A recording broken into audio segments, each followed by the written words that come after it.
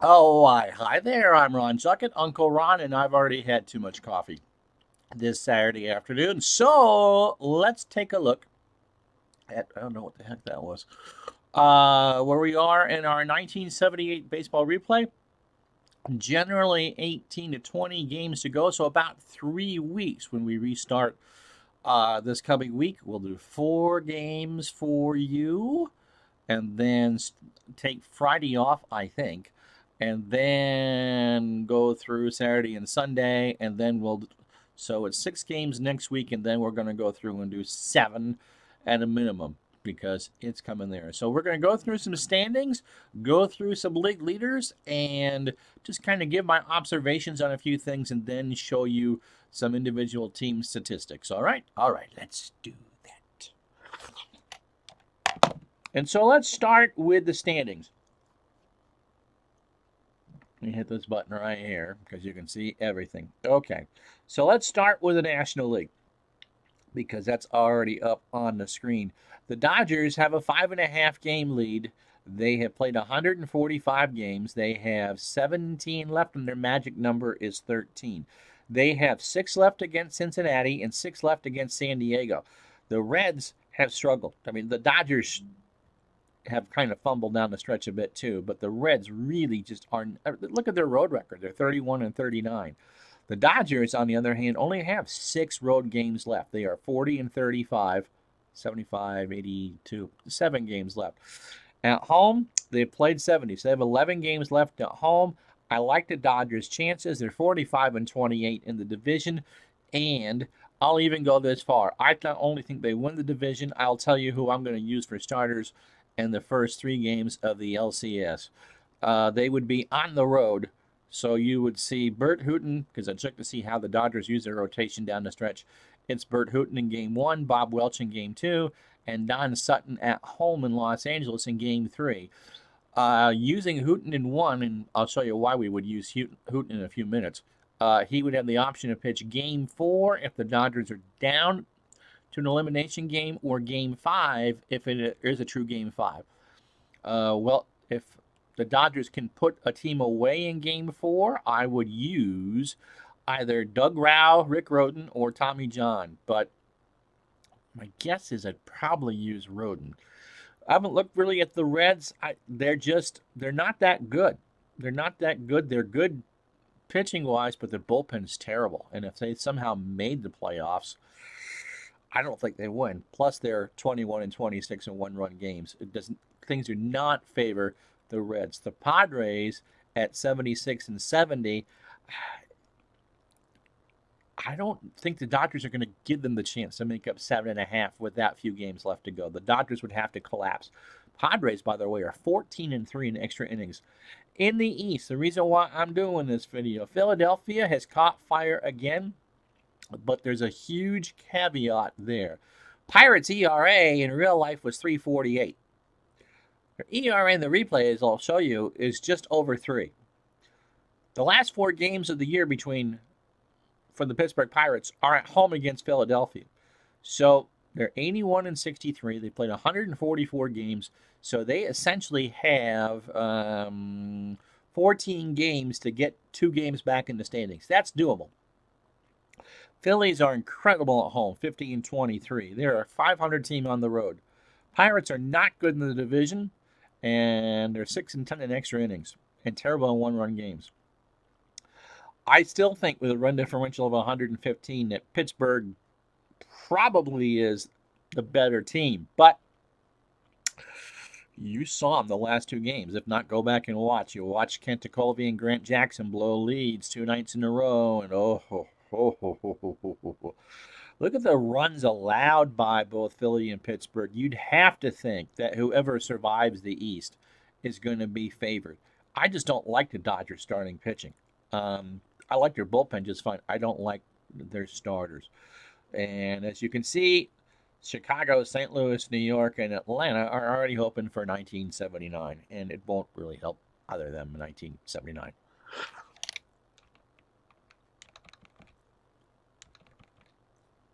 All right. American League. Texas by four and a half over Kansas City and six and a half over Minnesota. Now, although Kansas City has a run differential and a good road record, they're terrible on the road and under 500 one run games and extra inning games.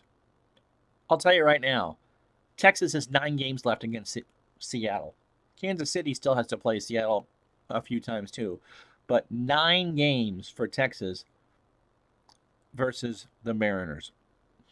And in fact, except for I think one more game against, a couple games against Minnesota, Texas is playing bottom feeders in the American League West. This is Texas's division to lose, and I haven't seen how they would st- stack up for a playoff run yet. But I like the Rangers starting rotation. You would get Matlack, Jon Matlack, and Fergie Jenkins going maybe twice, depending on how we go with that and we can kind of cobble together a, a third starter. Now, in the East, the Orioles and the Yankees have the toughest division roads to hoe. They both have big games to go. Milwaukee found the wrong time to fall apart. Their starting pitching has collapsed, and their bullpen isn't that good. I'm talking about the Brewers. They are Milwaukee 22 and 25 on one run games. The Yankees are not a good team at Yankee Stadium. They have 12 or 11 games left on at home and 3 and and 8 games left on the road. So they can kind of flip-flop things. The one benefit the Yankees have if they do make the playoffs and don't need to play a game 163 against Baltimore or Milwaukee is that they'd be able to go with Ron Guidry in game 1 and probably Ed Figueroa in game 2 and those games would be at the home of the American League West. So those games would probably be in Arlington. And we'd have the rare case, we'll check to see when the last time that Jon Matlack pitches in the regular season, that you might see game one of the playoffs be the exact same starters as game one of the regular season. Ron Guidry and Jon Matlack in, in Arlington, in Texas. Uh, we'll look at Boston. I don't know why this team is under 500 or 500 team. They are much better than that, except for the computer and Don Zimmer aren't on speaking terms. Toronto's been eliminated. Cleveland's tragic number is two. Boston's is seven, although they're not going to make it. Um, Minnesota and Kansas City play too many times. It'll either be Kansas City or Minnesota that's challenging Texas. Texas is rooting for Minnesota because the more they beat Kansas City, the more that magic number can come down. And the Royals' problem is on the road. They're 32 and 43. They're 45 and 23 at home, but they are already will have an under 500 record on the road, and they're uh, under 500 one run games at 22 and 24. The West isn't very good. Before we get into individual teams, let's take a look at leaders in both the leagues. First, the National League. Dave Parker is cruising towards a triple crown. He leads Jose Cruz by almost 32 points in batting average. He leads George Hendrick and George Foster by six home runs, and George Hendrick by eight RBI. Plus, that OPS of 1106 will do that. Dave Parker is your presumptive National League MVP, and looks like he's cruising towards a triple crown which I haven't didn't pick up on the broadcast. Gene Richards is one of the reasons why San Diego is still in the race. He's hitting 329, 16 triples, my goodness, and 35 stolen bases. He's got an OPS of 845. Um, George Hendrick is second in the National League in OPS at 975, hitting 327, 29 homers, and 104 RBI. A major year, but the Cardinals or 1686, and we don't talk about them. Uh, let's see, pitching leaders. Greg Swan looks like he's going to win the MVP, uh, not the MVP, but the ERA title. He's certainly eligible for it. He's got a whip of 1009 and an opponent batting average of 204 and is 15 and 9. Won the lone bright spots along with Lindsey Nelson's jackets for the New York Mets. Dick Ruthven 13 and 10 with both Atlanta and Philadelphia has a whip under 1 and an ERA of 226. Tom Seaver, the lone bright spot for the Reds in the rotation, 16 and 5 with a 235 ERA. And you notice who you don't see in any of those ERA leaders? Any of the Los Angeles Dodgers. Burt Hooton is the only Dodger starter with an ERA under three. He's won 18 games. Uh, Doug Bair, by the way, 33 saves for the Reds. He is the lone bright spot in the bullpen that, um, well, let's just say, finger paints on a regular basis. Rollie Fingers, another reason why San Diego is doing so well, 30 saves. And Kent Tekulve, although he hasn't pitched well the last couple games, is kind of propped up Pittsburgh. J.R. Richard will strike out 300. Phil Niekro, kind of looking for his Cy Young himself. He's 22 and 10, an ERA of under two and a half. Leads the league in wins and is second by a mile in strike, well, under a mile by strikeouts for J.R. Richard. American League. We got a four batter race here for the batting title. Rod Carew, his last year in Minneapolis or Bloomington, hitting 333. Ralph Garr qualifies for the moment for batting for batting title, hitting 331.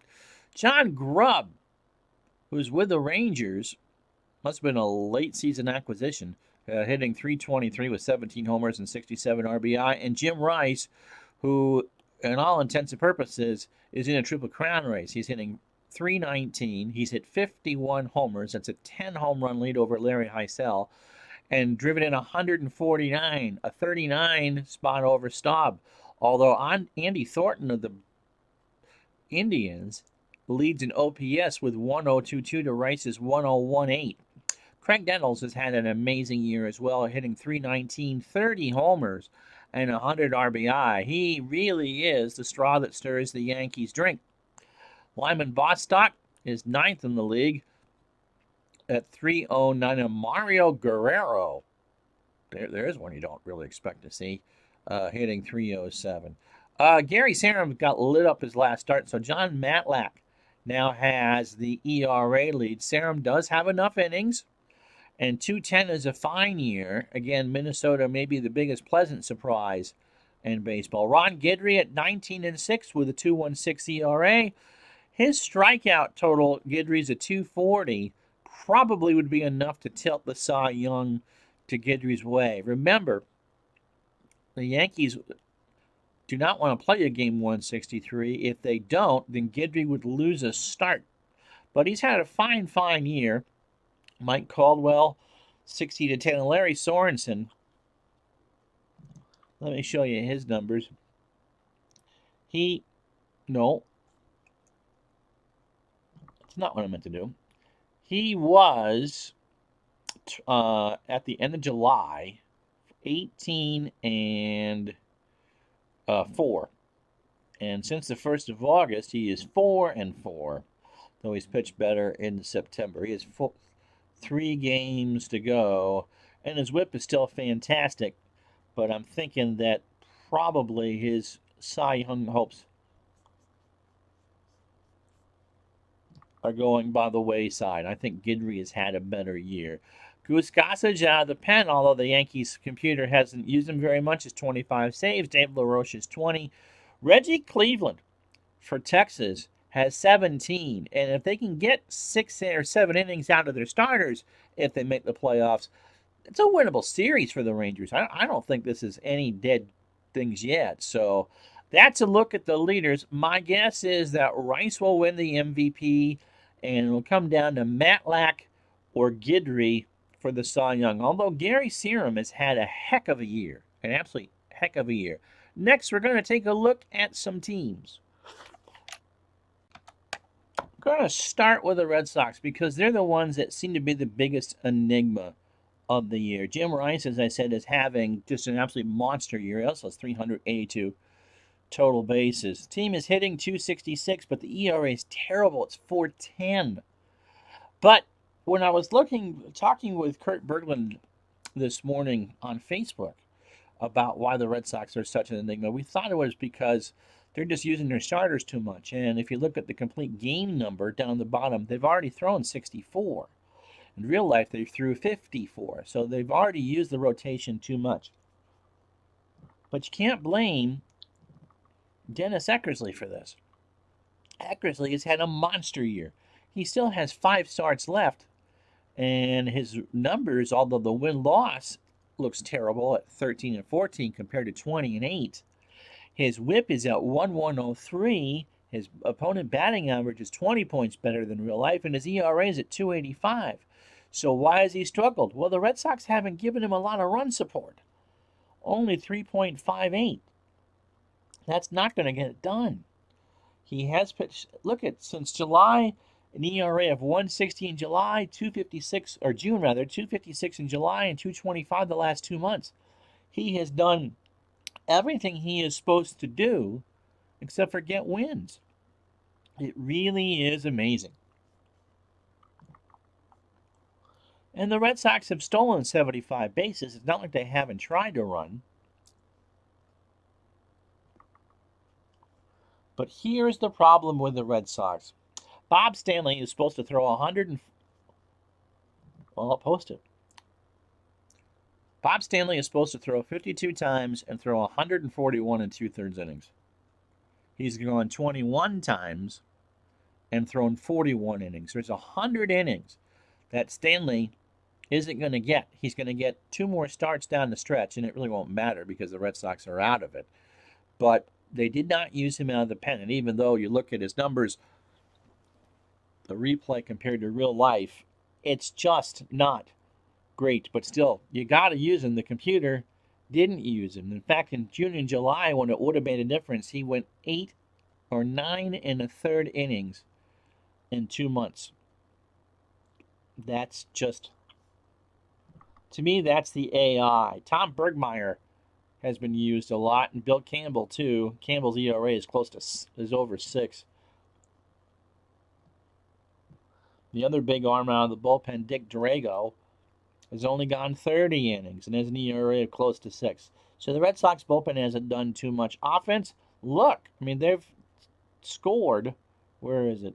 717 runs in 144 games and only allowed 645. This is not a 500 team, but sometimes things happen and they aren't going to make it. No, I don't want to see Bob Bailey.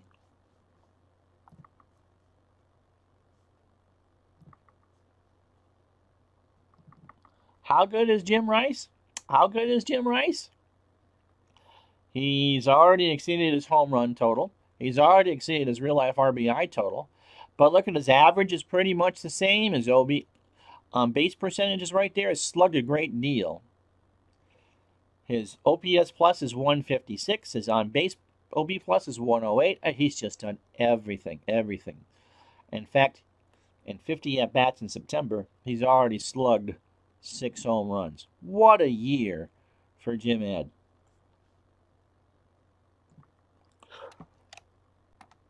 All right, let's go through the contenders and, and show you where they are. Let's start with the Dodgers. Lasorda's team has played very well, and they are now home for a lot of games. Hughes two against Houston, three against Atlanta, three against Cincinnati, excuse me,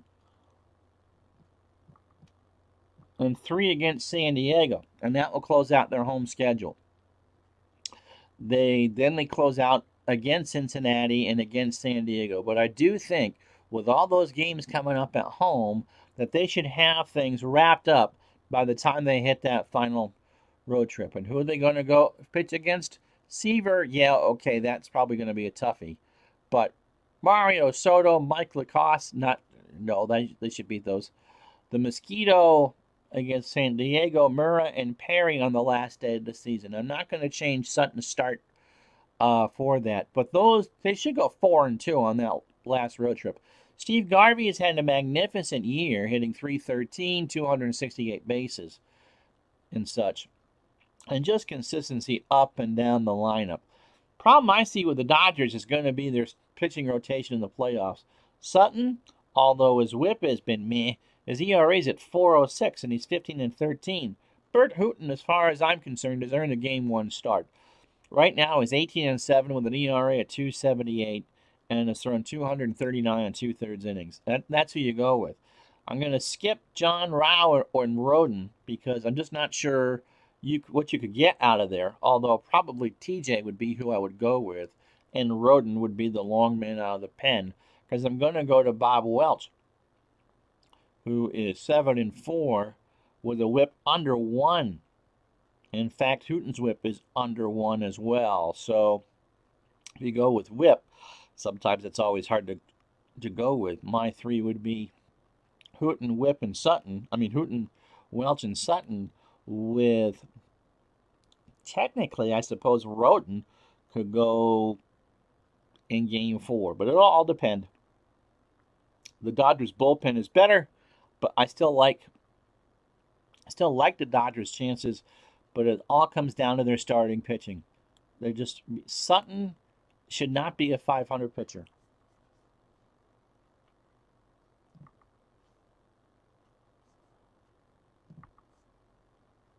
What was he in real life? He was 15 and 11 in real life, so he really he is not pitched as well as he should. Uh, he's got three more starts. He's 33. We'll see. We'll absolutely see. The computer's left him in there a little too long, but like I said, he's going to be a game three starter. Come on. No, I didn't hit that. Never mind.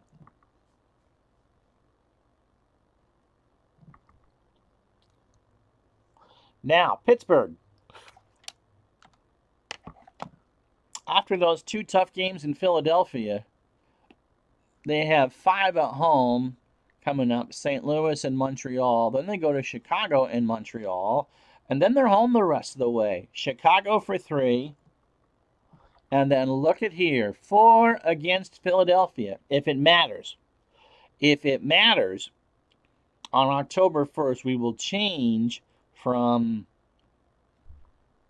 uh, Odell Jones would not make his major league debut trying to clinch a pennant. Who would I use? I could go with, I would probably go with Candelaria against Jim Kaat if it came down to that. Now, if it doesn't matter, we go with Odell Jones. The Pirates, I looked it up today, had an ERA, team ERA of 348 in real life. A 309 after that. They have pitched exceedingly well and they can hit. And Dave Parker is having a triple crown year. He is MVP. He is he is like a Visa card. He is everywhere you want to be. Pirates rotation isn't terrible. Bert Blyleven, I think, would go game one of the playoffs. And Don Robinson probably would go game two. Who would I go in game three? Maybe Jim Bibby or John Candelaria. So Blyleven would get the start in game one. They've used a lot of their bullpen. They've only had 26 complete games all year. And so uh, if the Pirates can get in, I like their chances. They have no, outside of Blyleven, you know, Robinson and Candelaria, kind of a joint number two uh, don't don't let the Pirates fool you. You know, don't let don't let the, what happened this week fool you. They can win, and their bullpen, well, you know it can be stronger. But they have Jackson and Grant Jackson and Kent Tekulve, and they can get there. I, I like their chances, uh, especially since they beat the Dodgers in all 12 games. But you know what happens when you try to repeat even replay history. Ask the 88 Dodgers about how they fared against the New York Mets. The Pirates have stolen, by the way, 203 bases. Okay, with a five game lead, you've got the ideal schedule. You've got the Cubs at home, the Mets at home. Then you go to Montreal and play the Mets and for three. So you get six games left against the New York Mets. Then you have four against Montreal and four against Pittsburgh. I like the Phillies' chances. Now, who would I use for a game one starter? I would go with Larry Christenson, and he will be fully rested if the Phillies win the division. His last start of the regular season is September 27th. And depending on, and I could go with Steve Carlton in game two. And I probably would go with Jim Kaat in game, or Dick Ruthven Actually, you no, when, when's Ruthven's last start? The 29th? So, yeah, so you might not see Carlton until game three, potentially in Los Angeles, because you've got Dick Ruthven, who has pitched lights out. Got an ERA or a whip at 896 and an ERA at 224. So Ruthven would be one of the arms I would go with, and maybe you would go with Ruthven. Nah, Ruthven, Christenson's going to be the fresher arm.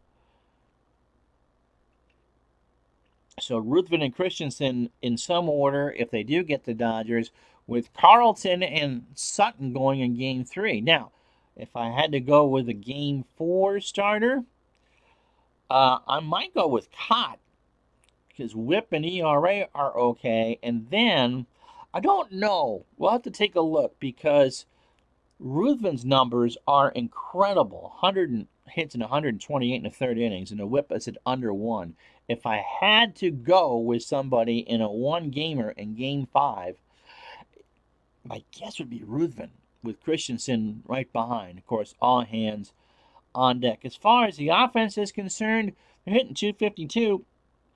Schmidt having a, not a good year. Luzinski having what would normally be considered a decent MVP campaign if it wasn't for what Dave Parker's doing.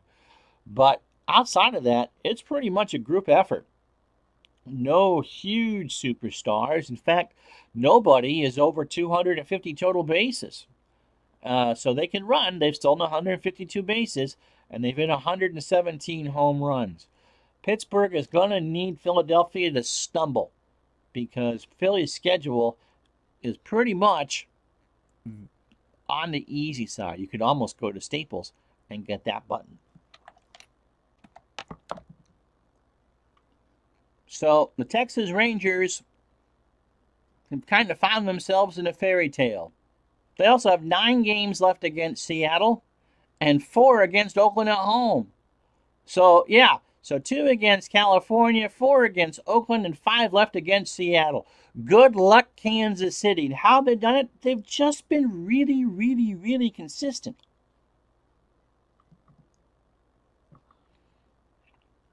They closed the season with four against Seattle, and you could go with, yeah, Jon Matlack is going to have enough rest, I think, to go in a potential game one. So, how have they done it? Again, no obvious superstars, just consistent. Al Oliver hitting 312. Mike Hargrove hitting 281. Richie Zisk and Bobby Bonds, 20 home run seasons. Bobby stolen 32 bases. Oh, yeah, the Rangers have stolen 182. They fly on the base paths. Bump Wills, he's only hitting 238, but he's got 45 stolen bases and an on base percentage of 333.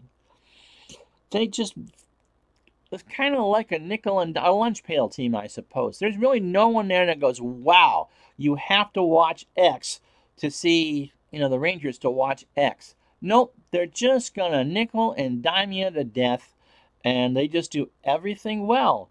And as far as a pitching rotation is concerned, you got Matlack, who should be a 20 game winner, and Ferguson Jenkins, who's going to get a couple down the stretch. And I like Ferguson Jenkins' chance against Ed Figueroa in, in a potential game two in Arlington. Or pretty much when we show you the Oriole starters, they're all pretty much interchangeable. Doyle Alexander would make a great game three starter, although Doc Ellis has a better whip and ERA. And so you could conceivably see Matlack, Jenkins, and Ellis go in games one, two, and three. And then you've got Doyle Alexander in a game four, and then you could go with Matlack in a game five.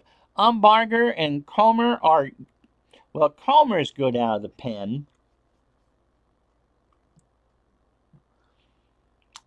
And Reggie Cleveland has a 147 ERA and a whip under one. So if you can get it there, Cleveland's your guy. So I like the Rangers' chances. They have a lot of games left at home, and it's two against Minnesota and four against Seattle on the road to close the season. So there you go. It's not a strong division, and Texas has done what they're supposed to do. And remember, it's not Pat Corrales as the manager; it's Billy Hunter. Kansas City's schedule is a little bit tougher. There's a couple games left against California and Milwaukee, who, although Milwaukee won't win the division this year, they're still a tough out. They've got two in Seattle, four at Minnesota, and then the three against Seattle and three against Minnesota to close out the season. Problem is, I'm not sure how they get four and a half games better than Texas with that schedule because Kansas City has five games with Seattle. Texas has nine. If they make the playoffs, you can use Leonard and Splittorff in games one or and two. The or the Royals have hit well. They're not going to hit home runs. They haven't stolen as many bases as you'd think. But Hal McRae as a DH, 266, 242 total bases. Darrell Porter, 17 home runs, 233 total bases. Amos Otis hitting 300.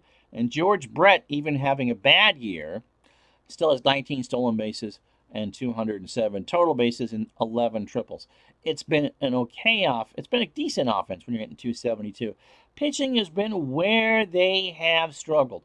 Leonard and Splittorff combined are 32 and 27 with ERAs over 370. There's no ace, and that's I think what hurt Kansas City in this replay. They got a bunch of number twos, but there's no number one. And if they do draw the Yankees, I, I think they are in deep trouble. Or Baltimore, because Baltimore has, as we'll show you in a minute, a bunch of ones and twos. As far as uh, closers are concerned, Hrabosky, 41 appearances, 15 saves, an ERA of 131. Again, you can ride him for some six out appearances and that. And Mingori has been okay out of the pen. They just it's just mediocre pitching in a division that's not great isn't going to get it done. And that's why I think the Rangers win this division. Outside of a couple games against Milwaukee, Baltimore closes their season pretty much against Cleveland and Detroit. That's pretty easy. In fact, the Yankees get Cleveland at home to finish the season. So from September 18th on, Baltimore doesn't play a game against a team that's contending. Now, who would they go with in the playoffs? Well, you could go with Flanagan and Palmer. I think Palmer actually had will go the last time on the 28th. So I would use Palmer as a game one. He's 17 and 9 right now with an ERA of 241 and a whip of just over one. Flanagan would be rested for game two. Although McGregor does he is he hurt? McGregor hasn't wouldn't have started a game since September no, it's September 24th. So they got four starters. So Palmer, McGregor, and Flanagan and Martinez you're not going to go with a three man rotation. Then you could go with Palmer necessary in a game five. So Baltimore's stick is going to be how far those four arms can get them. They are all ones or twos. There's not really a weak one in the bunch, and Earl Weaver knows it because the next one on the list, as far as number of starts is concerned, is Nellie Briles in the 6.68 ERA. The big key to the Orioles is going to be their bullpen. Because, well, Stanhouse is enough to give you, you know, the runs 51 and two thirds innings, 51 hits. 9 and 5 with 11 saves. That's who you got to go with. But look at that whip of 1 5 4 8. For a fireman, that's not good. Tippy Martinez is even worse. He's had a terrible regular season. 34 games, about 50 innings, one a 3 and 2 with a whip of 2054 and an ERA of 761. It really will depend on Baltimore, for Baltimore, how well their starters pitch. Eddie Murray, Rookie of the Year, 24 homers, 288, 96 RBI. Kenny Singleton has done extremely well. They've got 420 home run hitters. They've hit 146 on the year. They have a moderate amount of speed.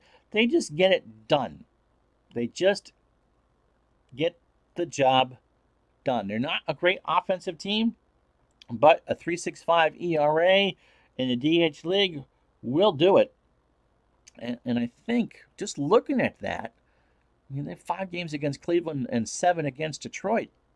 That should be enough.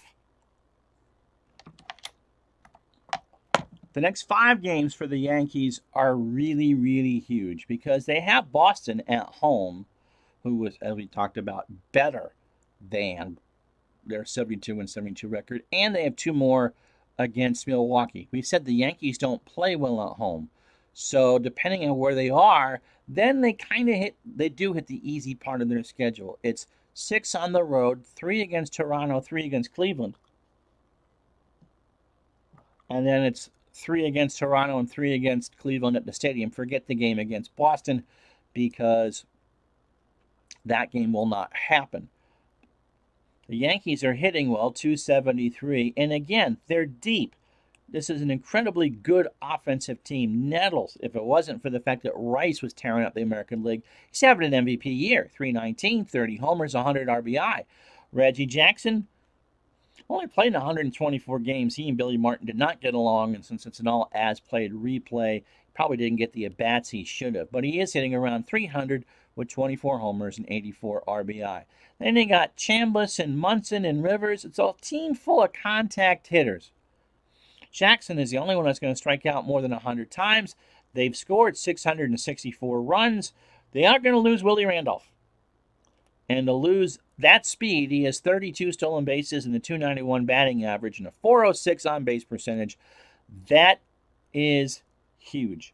Now, the problem that the Yankees are going to have going in the playoffs is who do you use after Guidry and Figueroa? Figueroa and will either start game one of an ALCS if there is no game 163 and if the Yankees make it, or Ron Guidry would start game one of an LCS because Guidry would start any prospective playoff game. Between them, they're 32 and 18. But Figueroa's whip is 1 320 and his ERA is 376. And who do you throw behind them in the third game? Dick Tidrow, who's under 500, has a whip right around 1.3 and an ERA of 422. The rookie Jim Beattie, who for a rookie has done, well, no, not really. He would work out the pen. Or Catfish Hunter, who was 8 and 4 with a 401 ERA. I mean, I, it really depends on what game Guidry starts in the playoffs. If it's game one, he could certainly go game five. If it's game three, which is where he really pitched against the Kansas City Royals, then that's his one start. And so the Yankees would have to figure it out from Figueroa, Tidrow, and Hunter how to get to Guidry or whatever, how, how you go from there? So the Yankees are, although they're 83 and 60, they're in good shape. They're a half game out of first place. Pitching is not their thing, and losing Willie Randolph is not going to help them either. It's a winnable division for them. If they can get past Boston and Milwaukee, the Torontos and Clevelands shouldn't scare them. On the other hand, it's the Clevelands and Detroits that Baltimore play. Both teams kind of have it easy. I still kind of give advantage to the Orioles because of starting pitching, but the Yankees offense plays very well. Oh, that took longer than I thought it was going to do. So there you go. You've seen stats and the stories and the standings. And when we're done with the season, we'll show you how it stacked up against real life. But we invite you to join us daily on twitch.tv slash retro sports network generally to mon- this coming week, Monday, Tuesday, and Thursday at noon Eastern, and Wednesday at 7 Eastern for the replay as we go to Pennant Chase 78. We're going to get this in. Three weeks left to go in the season, and really anything can happen. We got some good stories, and if you watch us on YouTube when we post stuff up, uh, there's been some incredible games. And so the last three weeks of the season coming at you. None of the divisions have been decided yet for certain, although I think the National League is starting to crystallize. But you never know. You never know. Hey, hit that like and subscribe. I'm Ron Juckett. We'll talk to you next time right here on Retro Sports Network.